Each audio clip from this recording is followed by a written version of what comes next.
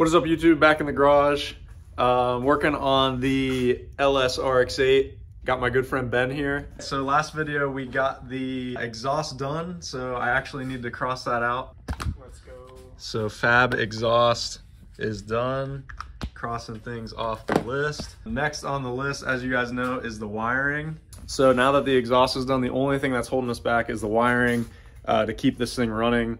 Um, there were some issues with the with the ignition 12 volt uh, being delayed whenever you turn it off. So I tried to turn off the key and it actually didn't turn off the engine right away. So I want to get that fixed. And while I'm at it, I'm going to go ahead and wire in a full standalone fuse box. That way all of my injectors and coils are on their own fuses and I don't have to worry about, you know, wires getting lumped into the same fuse and possibly blowing them quicker. So um, that's what I'm doing today. And my good friend Ben is here from college. We lived on the same floor, same hall for All four. all four years of college. So uh, he is the electrical friend, uh, electrical engineering and computer, right? So Yeah. now you're doing cool right. like satellite stuff, and Radar, yeah. radar stuff. Yeah, close enough. we take those. So Ben is officially a car guy now as of three, Three weeks, weeks ago. ago, yeah. um, we replaced his rear struts in his car. He came up here and pulled it in the garage. We did rear struts and rear brakes. So Ben is officially a car guy and uh, we traded hours. So I helped him work on his car and he's helped me wire up my car. So uh, the, the thumbnail title is a little clickbait. Um, I didn't actually need an electrical engineer, but I got one. So I don't know what I'm doing. He's gonna though. He he will. so what Ben's working on on this side, um, there's a ton of wires that need to get extended out through this uh, grommet here, and they're gonna run up the driver's side. Um, the whole purpose of that, or the whole reason that needs to be done, is because I relocated the fuse box and did the wire tuck. So um, they're gonna run up underneath the fender, similar to my passenger side here. Um, these are going to run right up along this ledge here, and you won't see anything in the bay, which is which is the big thing. So we're going to get those wires extended, finish up the passenger side, wire the fuse box. I'm to try to wire in my oil pressure sensor and my coolant temp sensor, uh, the glow shift gauges. One thing I still need to do is get my Mazda coolant temp sensor plugged in. Uh, that I, I had an adapter, but it didn't quite work with my glow shift gauge and my uh, Mazda sensor. So um, right now I just have the glow shift gauge in because I think that's the most accurate to get this thing running. Then the last issue I'll have, I'm gonna get the fans wired up, but that runs off of the Mazda coolant temp sensor. So those are just some small issues I'll have to work out later, but for now we're gonna get everything wired up. Um, I already have the coolant temp sensor for the Mazda sensor wired and the plug is ready to plug in once the sensor's in. So that'll be a quick fix later once I get an adapter that'll work. So we're gonna set up the time lapse and get cranking. Ben is, he's already been cranking out the wire. So um, we're gonna, we're gonna keep going and get this thing wired up. Uh, once I get to the fuse box, I will stop and explain in case anybody cares about how to do that. So enjoy it.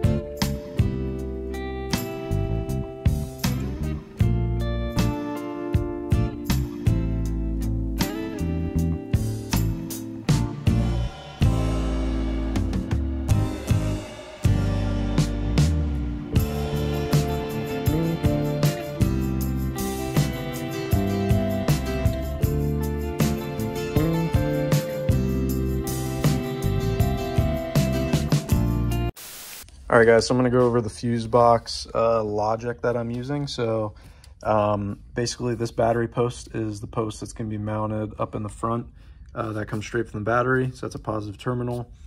Um, this is the fuse box. This is my fuse box here. Um, it came with four relays, but I'm just using one of them because I am using the fan relays for the Mazda and the fuel pump relay for the Mazda. So all I need is this relay specifically for the fuse box. Um, and then here's uh, the engine and, and the points on the engine ECU that I need to plug in here. So if I start with the fuse box and I start with the relay, Um, basically what we're gonna have here are all of these fuse terminals are all linked together. So I'm gonna link one of those terminals to the output of the relay, which would be these two here tied together. So here's the one terminal and here's the output of the relay. Um, then you're gonna have your ground and you're gonna have your positive battery terminal. That's gonna come straight from the battery post with an inline fuse. And then I'm gonna have my ignition switch going into the 86 pole of the relay. So I found an ignition source. Um, it's actually a black and yellow wire. It's one of the wires going into the big white plug uh, for the engine harness on the Mazda. I'm not using the other side of that plug, so I basically found one of those that supplies 12 volts on ignition, and I'm using that to trigger the relay. I think any of those wires that supplies 12 volts on ignition uh, would work just fine. So from there, triggers the relay, it supplies us 12 volts to this row here, and then basically from there, I'm gonna have wires coming out, these wires here, and I'm gonna be able to put my different size fuses, whatever I need, and run those to um, my O2 sensors, MAF, injectors, coils, uh, my the ignition source on the ECU, which I actually forgot to draw here. Um, and then I also have, I'm gonna have a Y off of that constant 12 volt, and that's gonna come over here um, and supply constant 12 volts to the engine ECU. So doing this will keep the LS engine completely separate and on the on its own fuses um, than the Mazda. I will be using the ignition 12 volt from the Mazda harness. So um, I still will be tapping into that, but it's pretty much just one wire. So um, the overall, it's still, I'd consider a standalone harness and I'm just getting um, an ignition source from the chassis.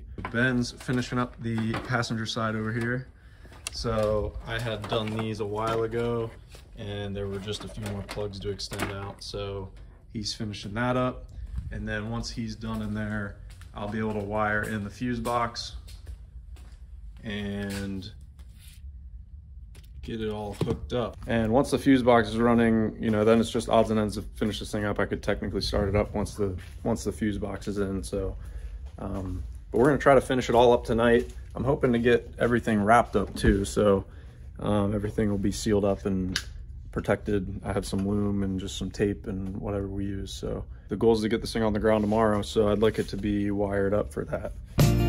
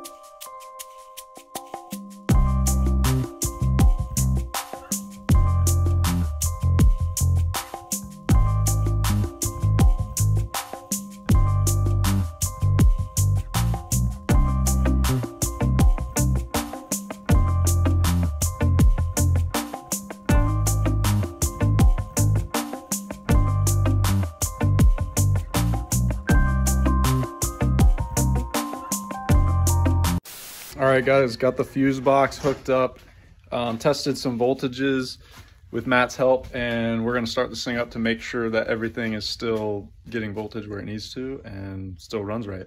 Huh. All right. Let me know when. I'm gonna See if I did it right.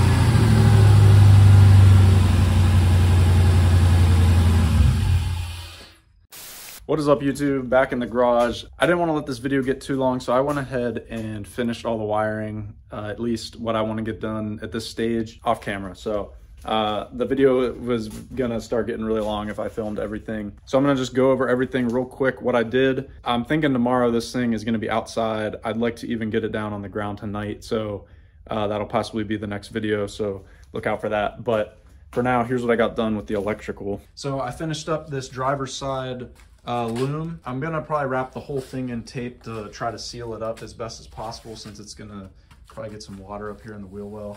Uh, but for now, until I make sure I don't have any issues, I'm gonna just leave it kind of partially taped. Got my ABS plug up here, all like 40 wires were extended, um, kind of wraps around there and back up. It should dodge any anything in here and I'm gonna make a nice little cover plate in there to cover up uh, the brake lines and the ABS module and whatnot. Uh, so this side's done. I checked all my headlights work and blinkers work, so that's good uh, good news. Passenger side was already done beforehand, a little bit smaller loom on that side. I got my brake master cylinder plug extended. I got my Mazda coolant temp sensor in there, so that's coming from this side. Also, by the way, I got a new PCV valve. Mine was all torn up and definitely not sealing, so I think I had a huge vacuum leak there. Uh, so this one should work a lot better. So inside of the car, you can see I got all my wires coming up from my fuse box area to, they come up underneath, they're gonna be underneath the dash here, they come across. Um, I already wired up my glow shift gauges because I wanna start this thing and be able to see what my coolant temp is, that way I can bleed it and also just make sure my oil pressure is good. So I went ahead and wired that all up. You can see the wires coming out of there. And here's the, I'd say the biggest mess on the driver's side. I think I can cover most of this up with the, the, stock panels. I might have to do some trimming and, you know, tuck some of that back. But for the most part, everything's uh, going to be able to tuck in there pretty well. And uh, all my pedals are going to be just fine down there. So here's where my oil pressure gauge and coolant temp sensor uh, wires run. Again, probably going to tape this whole thing up to seal it. For the most part, this thing is uh, good to go. As you saw earlier, I did start it with my new fuse box and it all shut off fine and ran fine. Whereas before, because I was on some weird Mazda relays, uh, they didn't shut off right away. So that's all fixed now. Fuse box seems to be working just fine. The one last electrical thing I need to do, which I haven't done, I have this breaker, uh, which is gonna be right, right at my battery. And that's gonna be, um, you know, just in case there's any huge short with my, with my battery wire running up to the front. So um, I didn't get a chance to do that yet, but that, that'll be easily accessible later. So anyways, like I said, I didn't want to let this video get too long. I've already had like three wiring videos, so there's no reason to um, just keep, you know, showing everything and everything about it. If you guys have any questions, you know, feel free to leave a comment. I'll try to answer it um, if I can remember what I did. So thank you guys for watching. Like I said, this thing is going to be on the ground in the next video. So I'm super excited for that. Um, and hopefully maybe moving under its own power, uh, which is going to be very cool, but I'm also very nervous. So um, wish me luck and like, comment, subscribe, and have a good night.